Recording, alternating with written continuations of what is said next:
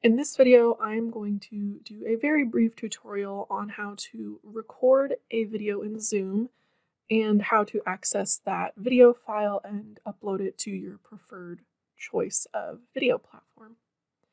So to get started, I'm just going to start a new meeting in Zoom, of course.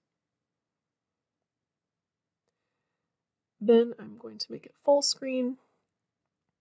And I'm not going to turn on my camera and I'm not really even going to record audio, but you could turn on your camera, record your audio, share your screen, whatever it is you would like to do.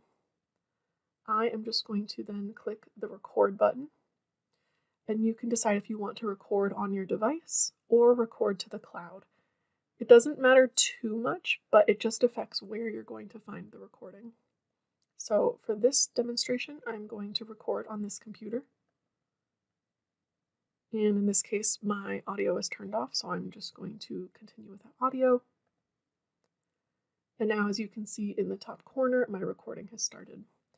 This is the point where I can share my screen, I can do whatever else I would want to be captured in my video. When I'm done, I will click Stop Recording. And it's letting me know that the file will be converted to an MP4 video file when the meeting ends. So now that I'm done, I will click End Meeting. And it's just letting me know that it was completing it. And now I um, automatically have the file opened for where my video file will be, as well as my separate audio file.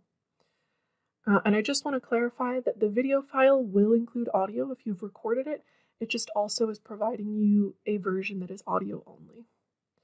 If you get lost and you don't know where this folder is, let's say you close it, typically where you will find it is, um, it depends on your device, but in my case, it would be on this PC. Under Documents, I would scroll to the Zoom folder, and this is where I can see the different folders for different recordings. It might be a little bit different on your device, so just take some time to find where Zoom recordings are saved on your device.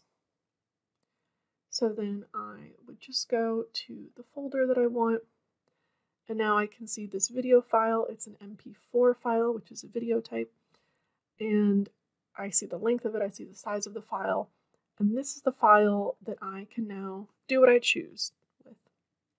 So if I want to upload it to YouTube, I can do that. If I want to upload it to Panopto, I can do that as well. So what I am going to do is open YouTube.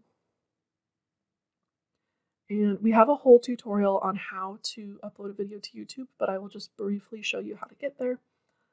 I'm in youtube.com, I'm signed into my OU account, and what I'm going to do is click the create button and select upload video. And now all I have to do is drag and drop a video file to upload it to YouTube. So in the case of something recorded to my device, I just take the video file and I drag and drop it into this area. And now it's uploading. Now, if you remember, there was pretty much nothing in this video, so it's not really going to show anything here. But if you have content in your video, like um, a screen share or your face, you will see a preview of it typically. Uh, there's a whole bunch of settings here. I won't get too much into them, but you can always adjust all of these details. You clicked next all the way through and then select the visibility. Again, we have a full tutorial that talks about these. So I would probably put unlisted for now just so that it's not publicly available um, and only people with the link can watch the video. And then I click save. So now I have a link for this video if I want to share it with people. I can always go and preview it.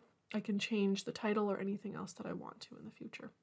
So that is how you record a meeting in Zoom or a video in Zoom and locate the MP4 video file and then place it in YouTube. You can do the same thing again with Panopto, with Yuja, whatever your preferred video sharing platform is. If you have your recording made to the cloud, the process is a little bit different. So let's say I want to record to the cloud. Again, we're just going to start a new meeting. I will click record and select record to the cloud. So again, I can do all the same things I was doing before. I can share my screen, I can record my, my face, I can record my voice, I can do whatever I want to make my video. And it's recording it to the cloud. And what this means is it's going to be recorded online in my Zoom account and not saved to my specific device. So when I'm done, I'll click stop recording and I'll select yes. And then I will end the meeting.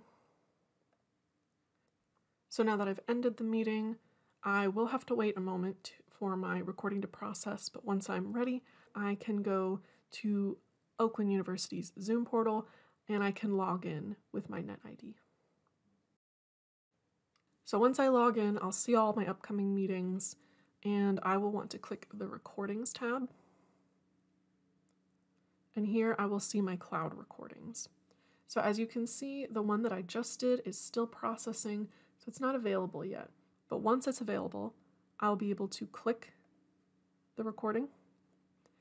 And as you can see, I can see all the different options of the recording files. So if I had a shared screen, I can see shared screen with speaker view, just the speaker view, or just the shared screen. So maybe I did record my face, but I actually only want to keep the video that is my screen. I can choose to download just that. So what you can do is look at the specific file that you want and click the download button right next to it. You can also choose to download all of the files. So I will click download shared screen. As you can see, it's downloaded to my device. Now I can click it here to show in folder, or I can just go to my files. I'll want to look under downloads, and I will see the recording there. And now at this point, it's the exact same steps as it was before to upload it to YouTube. All I'll do is drag and drop this video file into YouTube. And that's it. That is how you take a video that you've made in Zoom, record it to your device or your cloud, and find the video file to upload somewhere like YouTube or wherever you prefer.